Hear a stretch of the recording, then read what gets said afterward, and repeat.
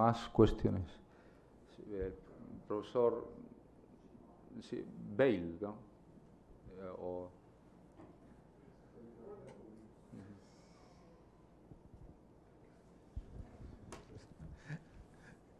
Ah.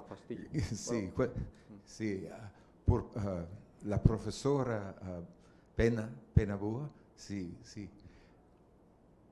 Francia eh, fue católica, pero hay el, el- el mismo teoría política, el poder absoluto del Estado. Eh, ¿Es posible hablar un, poco de, la recepción de- del defensor Fidei en Francia? El profesor Pablo Font está mucho más versado que yo en esta materia. Yo lo que puedo decir es que fue un libro que corrió una, suerte muy mala. ¿no? Fue quemado públicamente en Londres y eh, fue La, quemado. la- la recepción del libro de Jacobo I en, eh, en Francia, no de Suárez. Ah, no de Suárez, sino de de. Jacobo I. sino ah, el- la, la apología de, de Jacobo I. Bien, ahí tenemos algo muy interesante, que son los intereses galicanos. Intereses galicanos que pusieron contra la pared al propio padre Suárez, porque el padre Suárez, cuando recibe el encargo de escribir la confesión, la defensa de la fe, él dice textualmente, ¿verdad?, que lo hace de muy mala gana. ¿Pero por qué lo hace de muy mala gana?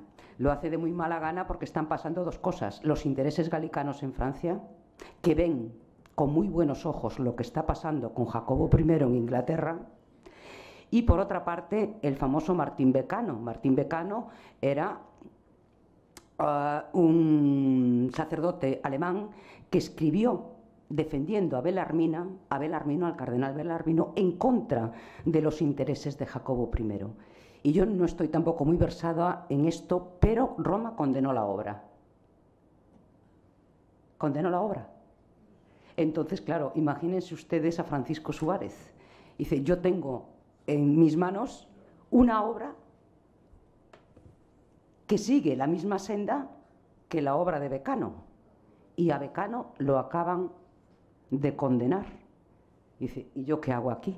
Por eso, por eso la obra se publica con una cantidad de documentos acreditativos tremenda. La tengo aquí la, el elenco, ¿no? En el, en el artículo ahí lo pueden leer.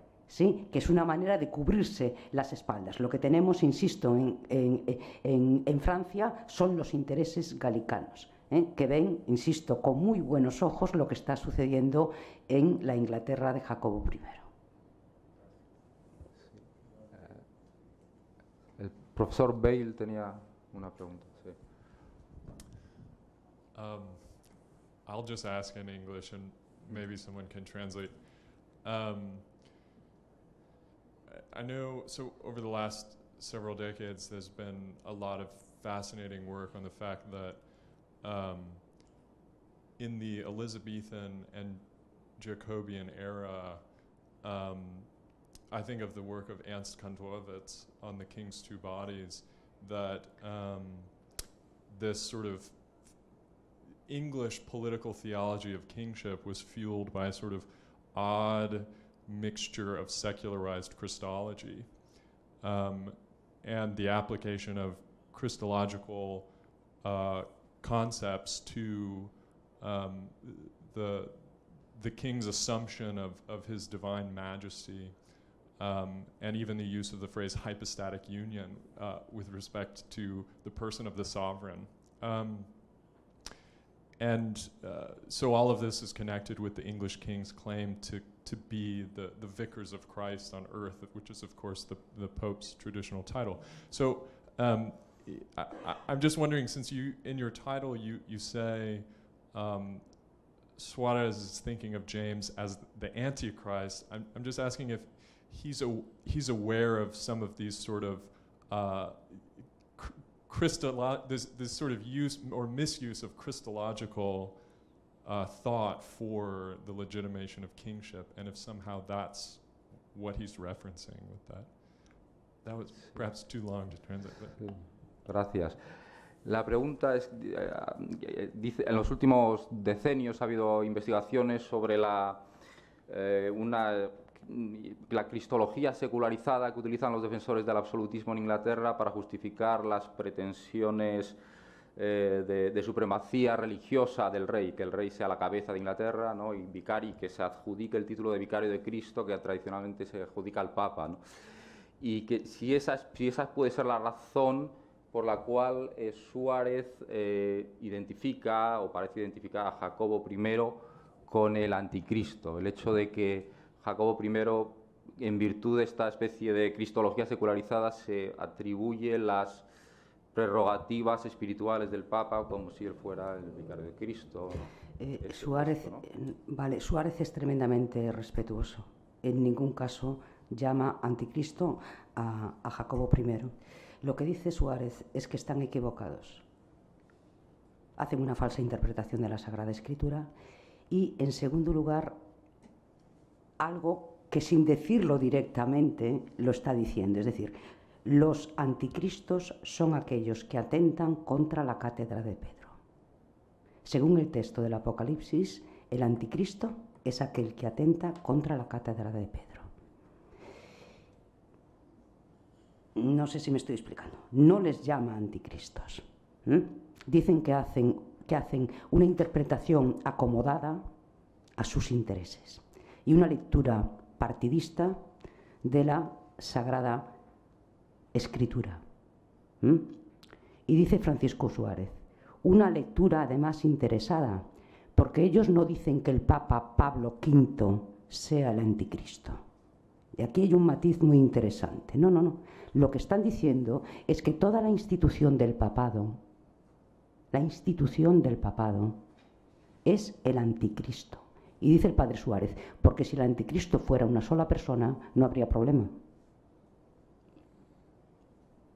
Pero ellos están diciendo que es toda la institución del papado, o dicho de otra manera, 500 años de tradición conciliar y dogmática de la Iglesia no vale.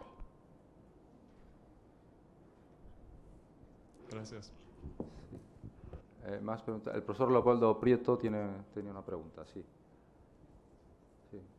Si la puedes, puedes formular con brevedad, la respuesta también. Muchas gracias a los dos ponentes. Para Ángel Poncela, una, me parece que con la cuestión también planteada de la recepción y el afrontar la cuestión de Avicena en Disputaciones Metafísicas 2, sección cuarta, aparece la teoría de los tres estados y a mí lo que me interesa, los tres estados de la esencia, mm. esencia real, esencia intencional, es decir, en su S real, en su S inmente, inánima, intencionalmente. Y un tercero, que este, eh, mi pregunta es la siguiente, ese tercer estado de la esencia, ni real ni intencional, sino absolute eh, dicte, podríamos decir, es lo que Suárez, o sea, tomado avicenianamente, lo que Avicena llama equinitas tantum, ¿no? no el caballo en la realidad, no el caballo en la inteligencia, sino la caballeidad en sí misma, es lo que, lo que Suárez plantea como la esencia realis en su posición, en su posición más pura, que es precisamente lo que después se transforma en su expresión del concepto objetivo. Digo, eh, lo que pido es la opinión de Ángel Poncela al respecto, no tanto el planteamiento.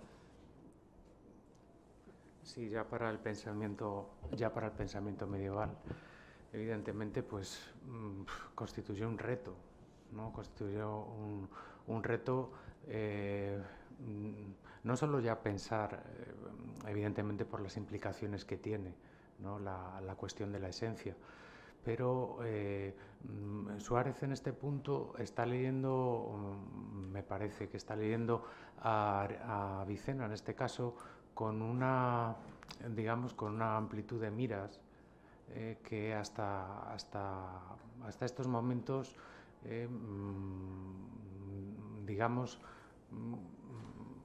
no ha sido, no ha sido explorado, por decirlo así. ¿no? Entonces, eh, con esa idea, especialmente el, tercer modo de ser, ¿no? la consideración absoluta y la consideración real es, está claro, ¿no? pero la consideración intencional es lo que de alguna manera le vale a Suárez eh, para obtener una justificación de eh, de, lo que, de lo que llama él realis, es decir, qué entiende por realis en, el ENS. ¿no? Bien, eh, le lleva también a, explicarnos de una manera, eh, digamos, muy pormenorizada en qué consiste el proceso de abstracción, nos dice. si nos fijamos, eh, bien en, el concepto de, lo aplica esta cuestión en particular Suárez a la, cuestión de la existencia, ¿no?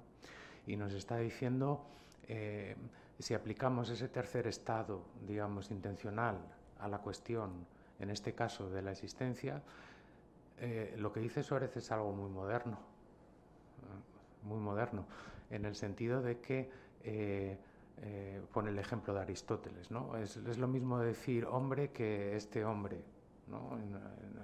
Nos lo dice, es decir, me da igual hablar en un sentido universal, eh, genérico, por decirlo así, o en un sentido, en este caso, particular, porque cuando estamos pensando ese concepto al tiempo, estamos de alguna manera eh, haciéndolo, haciéndolo eh, existir. Es decir, en todo pensar va incluido el ser. Cuando yo pienso al tiempo mm, es algo eh, en proceso, es algo que está siendo, mm, por decirlo así. Por eso hablar del, existir, eh, nos, dice, nos dice Suárez, es algo eh, que va de suyo. Es decir, Suárez piensa que casi no lo tiene que explicar. ¿no? Esto es lo que después, andando los siglos, en este punto concreto, de hecho, es lo que alabó, en este caso Heidegger, ¿eh? de la propuesta de Suárez, ¿eh? en este punto. Es decir, el pensar en la cuestión de la existencia desde el existente concreto, desde el individuo concreto, y desde esta concepción, es decir, a partir, por decirlo así, de una inducción.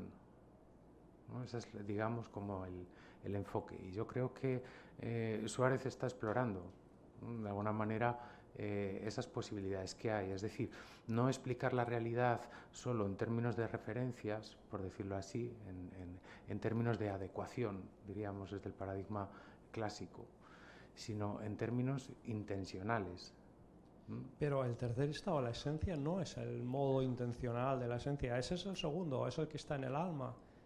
De hecho, es aquí justamente donde está la distinción suareciana entre el concepto objetivo y el concepto, eh, el concepto formal. Entonces, justamente ese tercer estado de la esencia es lo que Descartes va a llamar la realitas objetiva. Y ahí hay toda una teoría que a los lógicos modernos les apasiona y que en última instancia parece ser que tiene una resonancia en relación a las ideas divinas.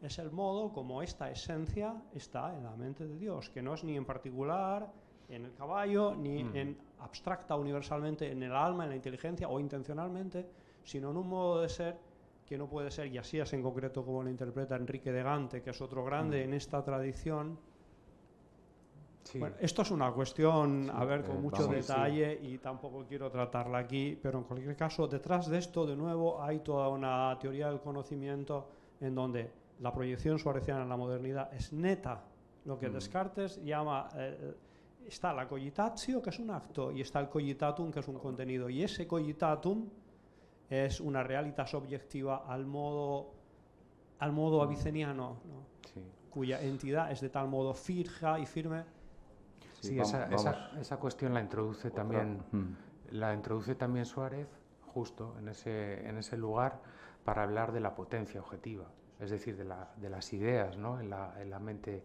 la mente divina, y lo aplica a la, a la concepción de la existencia también ¿no? en, en, esta cuestión. Es decir, le sirve para discriminar el ente posible, de alguna manera, del ente real. Dice, hombre, si lo, mm, en sí que es, no es nada, Dice, solo puede ser algo en la mente divina, ¿no?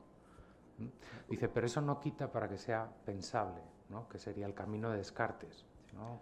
Una, una, una última pregunta del profesor Söchting. O, Simplemente no... Eh,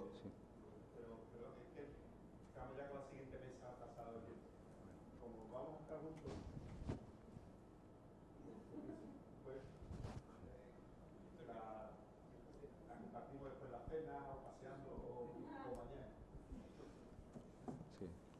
pues nada, muchas gracias y, nada, vamos a esperar un cuarto de hora o die- diez minutos, un cuarto.